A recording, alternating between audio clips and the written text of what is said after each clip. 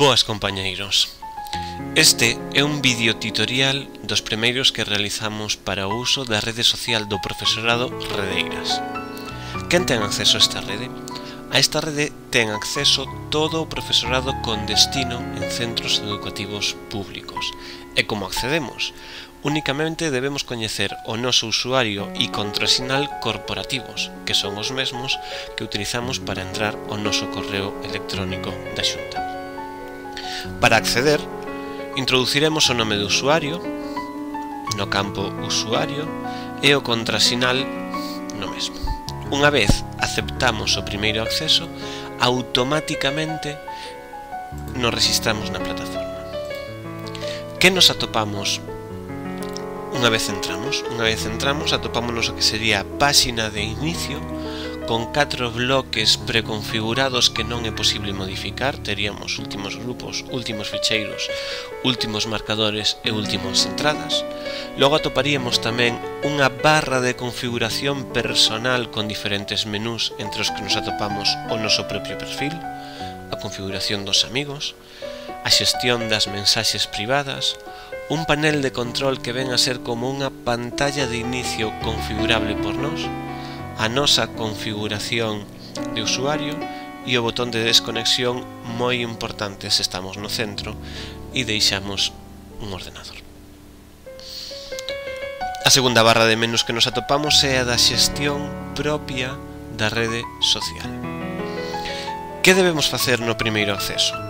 pois no primeiro acceso unha das cousas máis importantes que debemos facer sempre é configurar o noso perfil de usuario. Para iso, primeiro temos que acceder a el clicando no botón perfil que está identificado con noso avatar. Unha vez estamos dentro do noso usuario, vemos como aparece sen configurar. Esta sería a visión que o resto da rede social tería de nós mesmos. Será necesario, polo tanto, configuralo e, de e decidir que partes do noso perfil son visibles e a que nivel polo resto de membros da rede social e polos nosos amigos. É moi, sin, moi sinxelo, simplemente temos que seguir a orde. Primeiro, queremos modificar o noso avatar. Sempre convén ter un avatar personalizado. É moito máis sinxelo atopar a xente que ten un avatar diferente que se conversamos o avatar por defecto que trae a rede. Para utilizar un avatar novo, simplemente temos que ter previamente almacenado no disco duro do noso ordenador e cando así sexa, utilizar este campo de navegación para acceder a él e subilo. Neste caso, eu teño un avatar na carpeta descargas dentro da carpeta profesor selecciono o arquivo, un arquivo dunha imaxe, podía ser unha foto nosa ou un obxecto calquera, dependendo de si queremos ou non que nos recoñezan pola foto. Clicamos en abrir, neste caso, e subimos a imaxe. Unha vez está subida, con esta ferramenta podemos decidir que parte do avatar van a ver os nosos amigos si queremos que se vexa toda, simplemente clicaríamos, faríamos o recadro de toda a imaxe. Por que esta ferramenta? En moitos casos non, non precisaríamos modificar previamente a imaxe que queremos utilizar como avatar, xa que con esta ferramenta de recorte poderíamos seleccionar esa parte concreta da imaxe. Clicamos en crear o noso avatar e automáticamente vedes como a imaxe xa cambiou. Acto seguido, podemos ir a editar o noso perfil. Dentro das edicións do perfil, o primeiro é o sobre min, que é un campo de texto que nos per podemos personalizar con todo aquilo que nos guste, con toda a información que queiramos que o resto da rede coñeza sobre nós e demais. Por exemplo, poderíamos poñer docente interese con moita interese bueno, este é un programiño quen vamos a permitir que vexa esta descripción Pois esta descripción verán, verana, por un lado, ninguén se a situamos en privado. Por exemplo, imaginadevos que non queredes poñer nada, os chegaría con poñela en baleira ou que estades construindo unha descripción sobre vos. Podedes poñela en privado. Amigos veríana os vosos amigos, única e exclusivamente, aqueles que aceptaxedes como amigos. En usuarios registrados, verían a todos os usuarios pertencentes á rede social. E por último, público preguntámonos como público si esta rede solo está accesible para persoal de centros educativos. Pois en realidade, a nivel práctico, é exactamente igual que teñamos seleccionado usuarios registrados que usuarios públicos. As afectacións prácticas serán exactamente iguais teñamos o que teñamos configurado. Ninguén que non pertenza á rede poderá acceder a ningún contido da propia rede. Polo tanto, eu vou deixar en usuarios registrados. Unha descripción breve. Esta descripción breve aparecerá debaixo do noso nome de usuarios na lista de usuarios. E podemos poñer pois unha cita, podemos poñer a especialidade a que pertencemos, podemos poñer intereses que poidamos ter.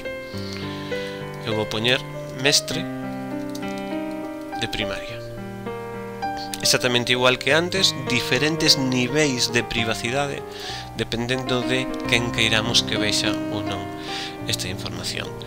Exactamente igual para a localización.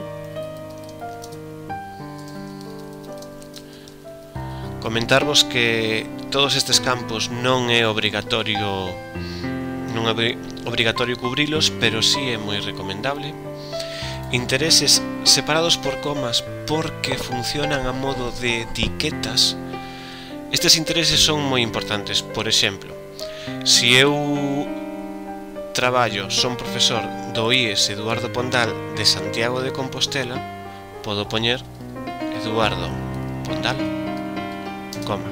Deste xeito, se alguén quere atopar profes do Eduardo Pondal, usuarios do Eduardo Pondal, simplemente escribindo no navegador Eduardo Pondal aparecerá aí o noso usuario. Si son profesor de tecnoloxía, tecnoloxía.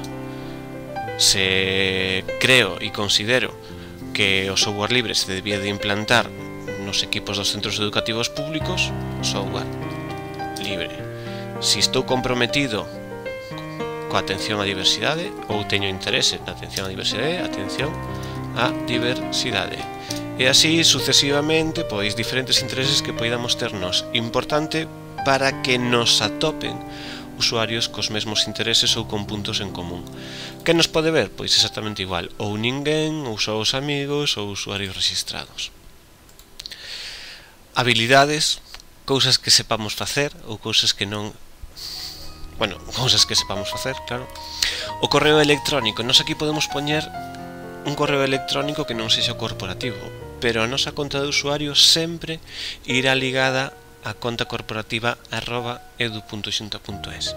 Para que vale logo este campo? Simplemente a modo de información para que o resto de usuarios da rede social teña unha conta que dirixirse, independentemente de que tamén se poida dirixir a nos a través das propias mensaxes privadas que dentro da rede se poden enviar. É recomendable, en todo caso, que coincida o correo co da xunta ou non, eso depende de cada, de cada usuario. Neste caso, só quero que os amigos vexan o meu correo electrónico, o teléfono, o teléfono móvil. E o sitio web.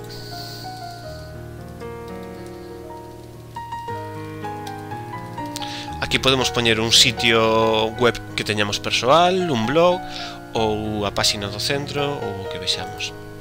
E temos tamén a opción de indicar os usuarios se temos un usuario de Twitter, informalos a través tamén do noso perfil. Unha vez que teñamos todos os campos eh, configurados, simplemente tenemos que clicar en guardar e automáticamente veremos como os datos de usuario xa aparecen configurados. Rápidamente, indicarvos que Este sería a forma en que os usuarios ven o noso perfil, pero podemos mellorar a experiencia dos demais no acceso ao noso perfil. Para iso teríamos que utilizar os denominados widgets. Para encadir un bloque deste estilo, simplemente temos que clicar en él. Como vedes, temos 11 bloques disponibles. 1, 2, 3, 4, 5, 6, 7, 8, 9, 10 e 11 bloques. Para que serven? Pois cada un serve para unha cousa diferente e en cada un deles poderemos decidir exactamente igual que nos datos de perfil quen ve Este bloque, cando accede ao noso perfil, é determinadas opcións de configuración que ten especificamente cada un de estes bloques. Se queremos eliminalo, simplemente clicando na X, desaparecería. Estes bloques, ademais, organízanse en tres columnas, das cales as dúas primeiras xa están medianamente utilizadas polos datos básicos do usuario. Para cambiar un bloque de un lugar a outro, simplemente arrastrando e esperando a que aparezan eses cadradiños que temos aí de fondo, sería suficiente para configurar o noso perfil. A modo moi xeral, porque podemos utilizar ou crear outro vídeo tutorial específico para explicar que se pode facer con cada un dos bloques, indicar a actividade a actividade que vemos deste de usuario e que el permite que vexamos, os grupos ao que pertence o usuario, as páxinas que creou o usuario, os seus amigos, os marcadores que son como hiperligazóns, como non, son hipervínculos que o propio usuario crea o tabuleiro de mensaxes que podemos utilizar para deixar mensaxes a un usuario, neste caso, se o configuramos no noso perfil, é para que nos deixen mensaxes a nós. Blog serían as entradas do noso propio blog. A nube de etiquetas organízase en base ás etiquetas que imos creando nas diferentes ferramentas, nos blogs, pois no, nos grupos e demais. Os vídeos, son os vídeos que, que imos subindo e que van quedando aí almacenados, os ficheiros e o muro. O muro é a nosa participación no muro que en futuros videotutoriais poderemos eh, profundizar. Simplemente para rematar xa este, este videotutorial, indicar que no, no panel de configuración, neste menú de configuración, poderemos optar como queremos que a rede social nos notifique a actividade dos nosos amigos.